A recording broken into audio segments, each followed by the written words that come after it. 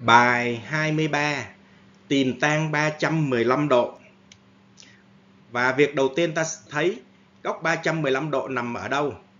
Ta tìm coi góc 315 độ nằm ở đâu trên vòng tròn lượng giác. Và người ta chia vòng tròn lượng giác ra thành 360 độ. Phần tư thứ nhất, từ 0 cho đến 90 độ. Phần tư thứ hai, từ 90 độ cho đến 180 độ. Phần tư thứ ba, từ 180 độ cho đến 270 độ phần tư cuối cùng từ 270 cho đến 360 độ. Ta thấy góc 315 độ nằm ở phần tư thứ tư vì nó lớn hơn 270 độ và nhỏ hơn 360 độ. Ta biết rằng mỗi một phần tư đều có ba góc đặc biệt và ba giá trị đặc biệt. Vậy, phần tư thứ tư cũng vậy, ta chia, ta vẽ ba đường thẳng của ba góc đặc biệt ra.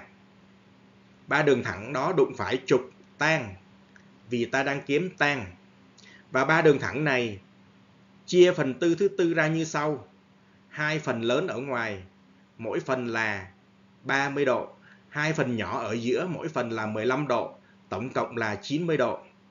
Ba đường thẳng này đụng phải trục tan và cách trục tan tại 3 điểm. Và có ba giá trị đặc biệt đó là căn 3 trên 3, 1 và căn 3. Nhưng ở đây nằm về phần âm của trục tan nên nó là trừ căn 3 trên 3, trừ 1 và trừ căn 3. Góc 315 độ được tính như sau.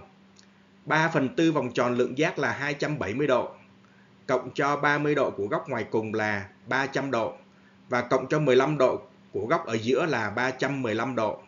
Vậy góc 315 độ được tính từ 0 cho đến đường màu đỏ là 315 độ và đi theo đường màu đỏ đến trục tan vì ta đang kiếm tan.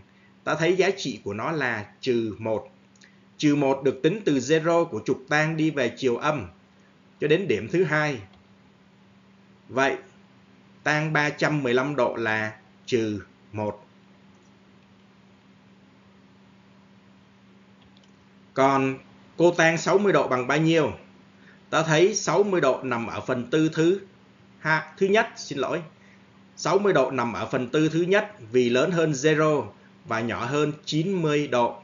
Cũng vậy, mỗi một phần tư đều có ba góc đặc biệt. Ta vẽ ba đường thẳng của ba góc đặc biệt đó ra. Ba đường thẳng đó đụng phải trục cô tan và nó cách trục cô tan bại tại ba giá trị đặc biệt đó là căn 3 trên 3, 1 và căn 3. Ba đường thẳng này chia phần tư thứ nhất ra như sau hai phần lớn ở ngoài mỗi phần là 30 độ, hai phần nhỏ ở giữa mỗi phần là 15 độ, tổng cộng là 90 độ. Và góc 60 độ được tính như sau. Từ 0 cho đến điểm đầu tiên là 30 độ, cộng thêm 15 độ nữa là 45 độ và cộng thêm 15 độ nữa cho góc nhỏ ở giữa là 60 độ, đó là đường màu đỏ. Góc 60 độ được tính từ 0 cho đến đường màu đỏ. Và đi theo đường màu đỏ đụng phải trục cô tang ta thấy giá trị của nó là căn 3 trên 3. Căn 3 trên 3 được tính từ zero của trục cô tang đi về chiều dương cho đến điểm đầu tiên. Vậy giá trị của cô tang 60 độ là căn 3 trên 3. Và đến đây ta cũng đã làm xong bài 23.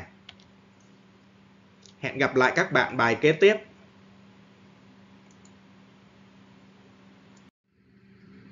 Bài 24 Tan 45 độ bằng bao nhiêu? Và đầu, việc đầu tiên ta xem góc 45 độ nằm đâu trên vòng tròn lượng giác. Đây là vòng tròn lượng giác. Người ta chia vòng tròn ra thành 360 độ. Phần tư thứ nhất từ 0 cho đến 90 độ. Phần tư thứ hai từ 90 độ cho đến 180 độ. Phần tư thứ ba từ 180 độ cho đến 270 độ. Phần tư cuối cùng từ 270 độ cho đến 360 độ.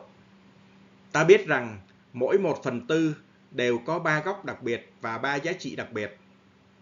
Vậy, ta thấy góc 45 độ nằm ở phần tư thứ nhất vì lớn hơn 0 và nhỏ hơn 90 độ. Và ta vẽ ba đường thẳng của ba góc đặc biệt đó ra.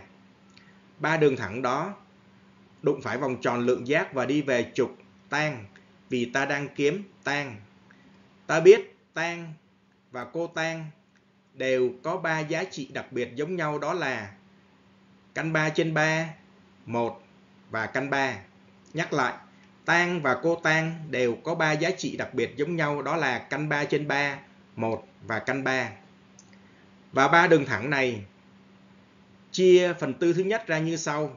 Hai phần lớn ở ngoài, mỗi phần là 30 độ. Hai phần nhỏ ở giữa, mỗi phần là 15 độ. Tổng cộng là 90 độ. Và góc 45 độ được tính, từ 0 cho đến đường thứ nhất là 30 độ. Cộng thêm 15 độ cho góc nhỏ ở giữa là 45 độ. Vậy góc 45 độ được tính từ 0 cho đến đường màu vàng. Và ta đi theo đường màu vàng, đụng phải trục tan vì ta đang kiếm tan. Ta thấy giá trị của nó là 1. 1 được tính từ 0 của trục tan đi về chiều dương cho đến điểm thứ hai. Vậy tan của 45 độ là 1.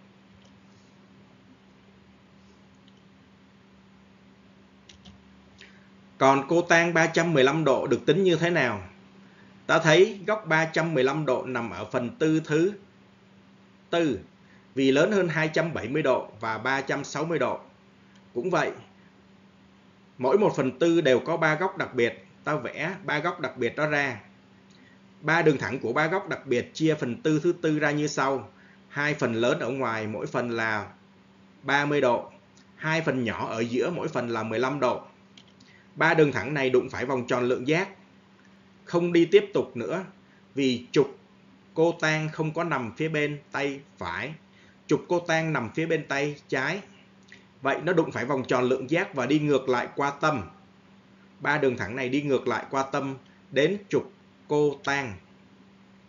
Và nó cắt trục cô tan tại ba giá trị đặc biệt.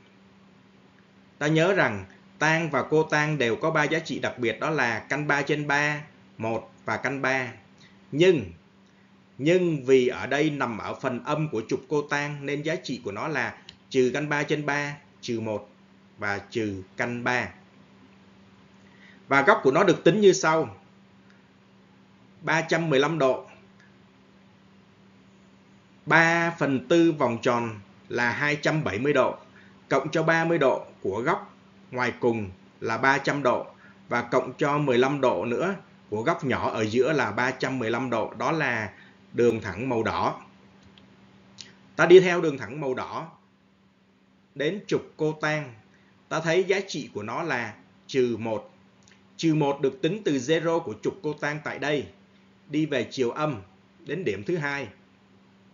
Vậy, cô tan của 315 độ là trừ 1. Cũng vậy, đến đây ta đã giải xong bài số 24.